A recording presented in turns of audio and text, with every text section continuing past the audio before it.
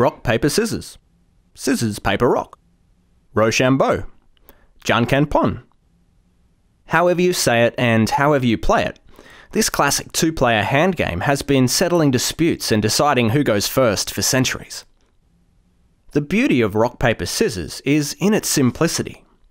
After a count of three, each player must simultaneously make a decision either rock, paper, or scissors, which they represent with simple hand gestures.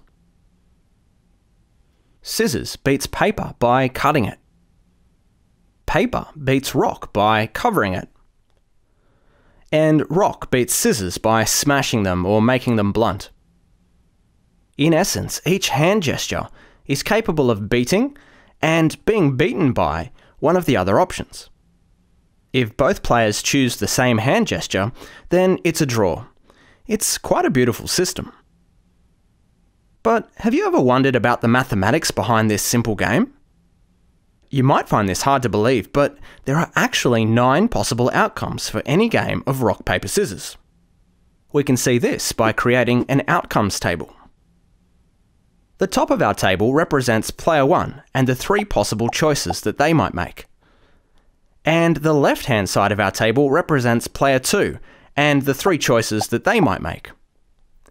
The nine squares in between represent the nine possible outcomes of any game. Now, as mentioned, if both players choose the same hand gesture, then it's a draw. This creates a nice diagonal pattern across our table. If player 1 chooses paper and player 2 chooses rock, then player 1 wins. Let's fill it in.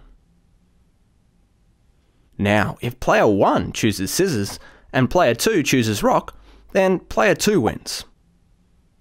Let's add the rest of the outcomes to our table. What you should notice is that there are 3 out of 9 outcomes which result in a player 1 win, 3 out of 9 outcomes which result in a player 2 win, and 3 out of 9 outcomes which result in a draw.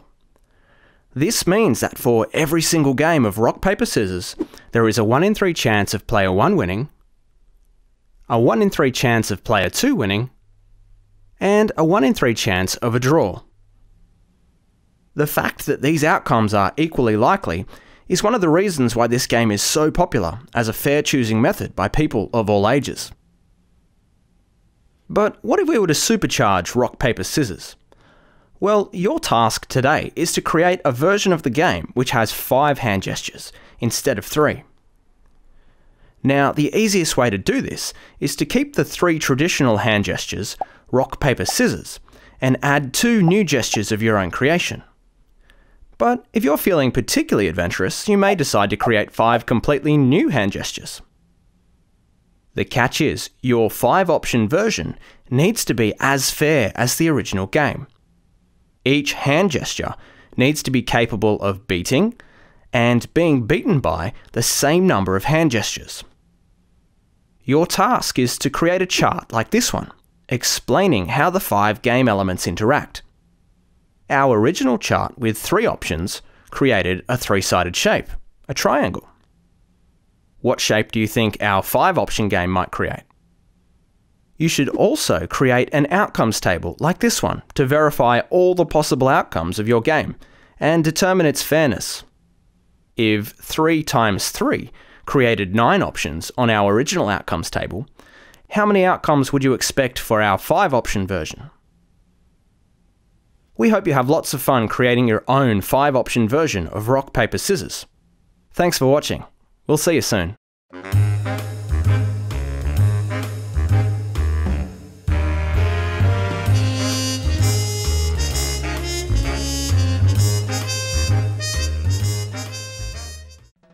Hey there!